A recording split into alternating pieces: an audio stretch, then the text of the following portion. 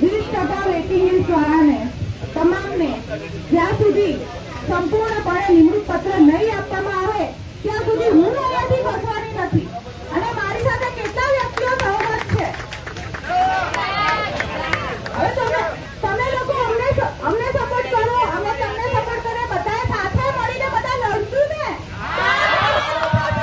બાકી એકલા એકલા રહેશું ને તો આ સરકાર છે ને એકલી અંદર નાખી દેશે ને બીજા બધા એના ડરથી છે ને ઘરમાં છુપાઈ જશે એટલે બધાએ સાથે રહેવું પડશે તો જ સરકાર જાગશે એ ખુલ્લી ગયેલી છે અને આપણે જગાડવાની છે સરકાર સુધી આપણે આપણો અવાજ પહોંચાડવાનો છે કારણ કે સરકાર હવે આ પબ્લિક સુધેલી નથી પબ્લિક જ જાગી ગઈ છે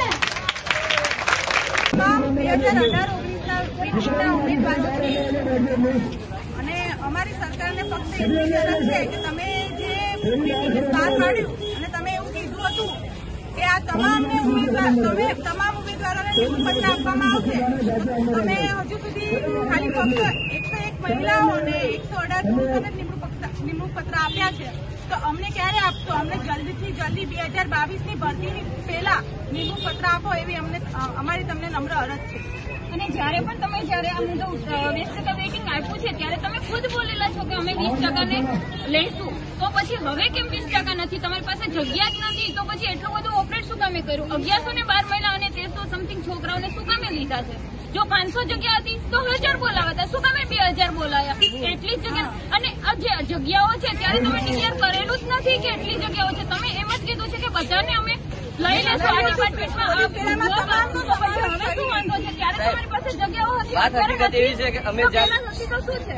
એકવીસ તારીખે જયારે અમે સચિવાલય બોલાવવામાં આવ્યા સંઘવી સાહેબ દ્વારા ત્યારે અમને પહેલા પેડા ખવડાવવામાં આવ્યા પછી કીધું તમામને વીસ ટકા પૂરેપૂરું દસ ટકા હતું પરંતુ વીસ ટકા સંપૂર્ણપણે અમે ઓપરેટ કરશું અને જગ્યાઓ છે અને એની વ્યવસ્થા અમે કરેલી છે અથવા તો કરી દેશું. આવું કીધું. જયારે હકીકતમાં આપવામાં આવ્યું ત્યારે હકીકતમાં વાત કરવામાં આવે તો કે અઠ્યાસી છોકરીઓ અને એક અઢાર છોકરાઓને જ આપવામાં આવ્યું. તો તમે બોલેલા કેમ ફરી જાઓ છો? તમારા વાયદા કેમ સરકાર ચૂકી જાય છે? તમારા વાયદા પ્રમાણે તમે નિભાવો. તમે કીધું સંપૂર્ણપણે અમે પોલીસ બેડાની અંદર સમાવેશ કર્યો. સંપૂર્ણ ઓર્ડર આપવામાં આવશે. એવી વાત કરવામાં આવી અમારું માત્ર માન વેઇટિંગ નથી. અમારી માઇક પૂરી સમક્ષ નથી પરંતુ અમારે સંપૂર્ણપણે લાલચ આપી અને એમ કહેવામાં આવ્યું પૂરેપૂરા બધો લઈ લેશું આ વાતને લઈને સંઘવી સાહેબે નિવેદન આપેલું આજની તારીખમાં માત્ર એકસો અઢાર નો અઠ્યાવીસ સાહેબ અઠ્યાવીસ માસ વાળા અત્યારે વેટિંગમાં સુધી રહી જશે અમે કેટેગરીમાં વર્તમાનમાં ગુજરાત સરકાર દ્વારા જે ભરતી બહાર પાડવામાં આવી એનો એક કહી શકાય કે તમામ માહિતી મારે આપવી જરૂરી છે. ગુજરાતની સામાન્ય જનતાને આ વાત જાણવી ખૂબ જરૂરી છે. બે હજાર અઢાર ઓગણીસમાં જે કહી શકાય કે એલઆઈડીની ભરતી જે બહાર પાડવામાં આવી હતી એ એલઆઈડીની ભરતીમાં જે રીતે એક ઘટનાક્રમ સર્જાયો એ ઘટનાક્રમ સમજવો પણ જરૂરી છે. કેમ કે એક આઠ અઢારનો જ્યારે જીઆર બહાર પાડવામાં આવ્યો ત્યારે જીઆરમાં આંદોલન થયું હતું અને એ આંદોલન અઠ્યોતેર દિવસ સુધી ગાંધીનગર ખાતે થયેલું હતું. તેના ભાગરૂપે મહિલાઓની સંખ્યામાં વધારો કરવામાં આવ્યો. બાવીસોથી વધારે જેવી સંખ્યાઓ મહિલા ઉમેદવારોની ભરવામાં આવેલી. ત્યારબાદ પુરુષ ઉમેદવારોએ જે માંગણી કરેલી હતી એ પુરુષ ઉમેદવારોની માંગણી હતી કે મહિલા સમકક્ષ તમામ પુરુષ ઉમેદવારોને સમાવેશ કરવામાં આવે. ત્યારે વર્તમાન ગુજરાત રાજ્ય સરકાર અને એના ગૃહમંત્રી માન્ય શ્રી હર્ષ સંઘવી સાહેબે એવું કહ્યું હતું કે આ જે બે હજાર અઢાર ઓગણીસની જે ભરતી છે, એમાં વીસ ટકા વેઇટિંગ લિસ્ટ અમે આપીશું. અને એ તમામ જે વેઇટિંગ લિસ્ટ છે, એ વેઇટિંગ લિસ્ટને અમે ઓપરેટ કરીશું. તો અમે માનનીય ગૃહ રાજ્યમંત્રીને એમના પોતાના જ શબ્દ યાદ કરવા માટે કહીએ છીએ કે તમે તમારા જ શબ્દ યાદ કરો, તમે તમારી પ્રેસ કોન્ફરન્સ જુઓ, જેમાં તમે જ કહ્યું છે કે અમે વીસ ટકા વેઇટિંગ આપીશું. અને વીસે વીસ ટકા વેઇટિંગ છે એ ઓપરેટ કરવામાં આવશે. અને પોલીસ બેડામાં આ તમામ જે ઉમેદવારો છે, એનો સમાવેશ કરવામાં આવશે. તો સરકારને આ માધ્યમથી અમે નમ્ર અપીલ કરીએ છીએ કે અત્યારે જે પણ ઉમેદવારો માંગણી કરી રહ્યા છે. એની માંગણીને ન્યાય આપવામાં આવે. એમના જે પણ કહી શકાય કે હક માટે, અધિકાર માટે એ લોકો લડી રહ્યા છે, તો એમને કમસે કમ એમનો હક, અમને અધિકાર એમને આપવામાં આવે. કેમ કે આ જે લોકો જયારે માંગણી કરી રહ્યા છે, એમાં ક્યાંક ને ક્યાંક જોઈએ તો તમામ માંગણી વ્યાજબી છે. કેમ કે જ્યારે તમે જ કહ્યું કે અમે વીસ ટકા વેઇટિંગ આપીશું, ત્યારે જ આ ઉમેદવારો તમારી પાસે માંગણી કરી રહ્યા છે. જે તમે ખાસ કરીને વિદ્યાર્થીઓને બોલાવીને પેંડા ખવડાવી લીધા, ખાઈ લીધા.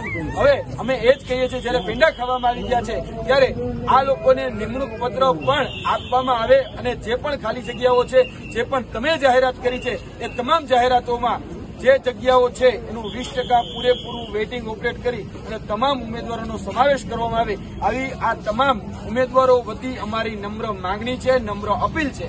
અને અત્યારે આ ઉમેદવારો ગાંધીનગર ખાતે છે. ગાંધીનગર ખાતે કહી શકાય કે માજી સૈનિક ના માજી સૈનિકનું જે આંદોલન ચાલે છે તેની સાથે સંકળાયેલા છે. અમે અપીલ કરીએ છીએ કે ઝડપથી એની માંગણી સ્વીકારવામાં આવે. અન્યથા એ લોકો જે આંદોલનના માર્ગે આગળ વધી રહ્યા છે, એમાં આપણા ગુજરાતનું પણ નુકસાન છે.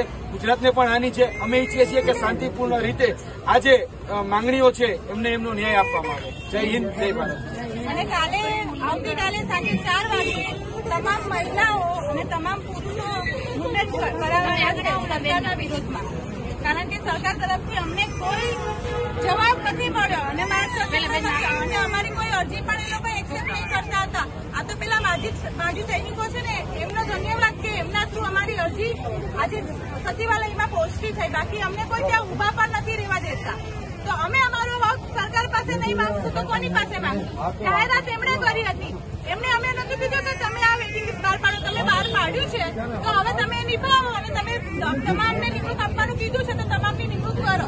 મારી સરકારને એ જ અપીલ છે બરાબર છે? અને કાલ સાંજ સુધીમાં અમને લેખિતમાં લેખિતમાં આપે ત્રણસો ના સ્ટેમ્પ પર લખાણ કે અમે તમામને નિમણૂક કરશું જ.